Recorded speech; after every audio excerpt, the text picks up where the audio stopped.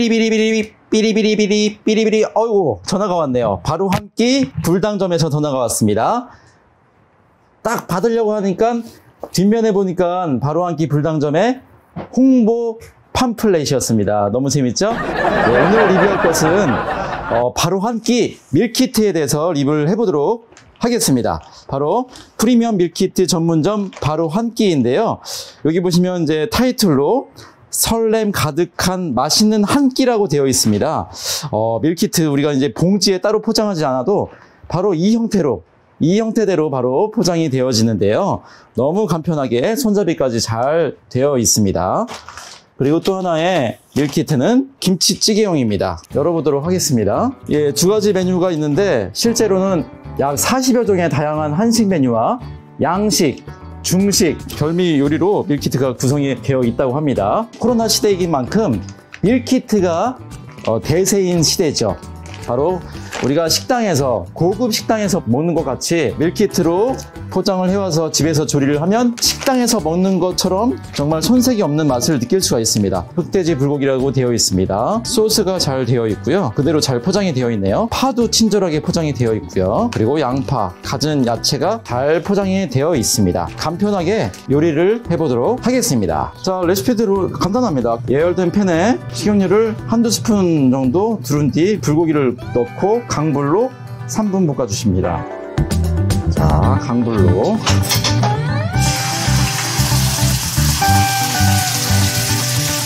어우, 소리가 그냥 맛있는 소리가 납니다. 맛있는 소리가. 강불로. 강불로 3분 정도 볶아줍니다.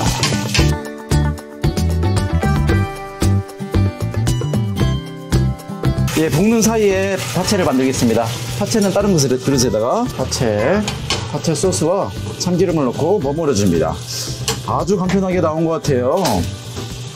파도 아주 고르게 썰어져 있어서 정말 맛있는 파채가 완성될 것 같습니다.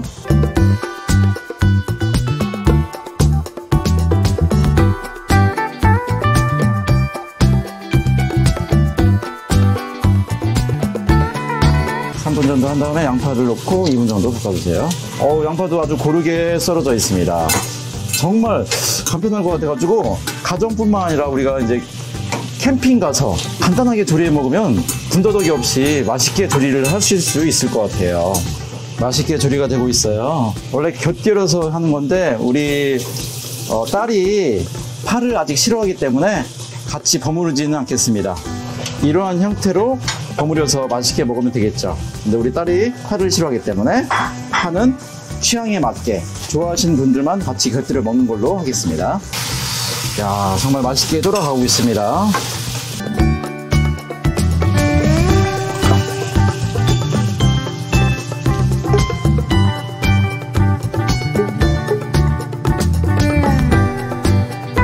어, 같이 곁들여서 파채랑 어, 캠핑 요리로 딱일 것 같아요. 우리 여행 갔을 때 간단하게 정말 조리만 할 수 있게 이제 부탄가스로 불만 있으면 간단하게 정말 맛있는 식사를 할 수가 있는 언양식 불고기 밀키트였습니다.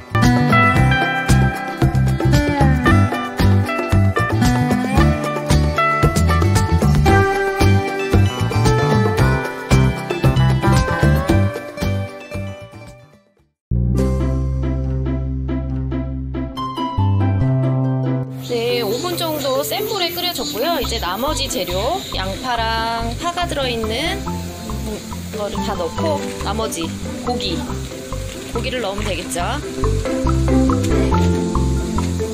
이렇게 해서 센 불로 10분만 끓여주면 된대요. 네, 이렇게 완성이 됐습니다. 너무 맛있게 보이죠? 제가 맛을 한번 볼게요.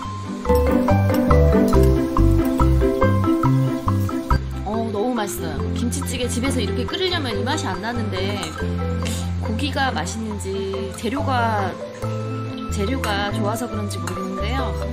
어, 너무 맛있어요. 맛있고 김치찌개에 깊은 맛이 나요. 그래서 요 캠핑 같은 거 갈거나 혼밥 드시는 분들 적극 추천해드리고 싶어요.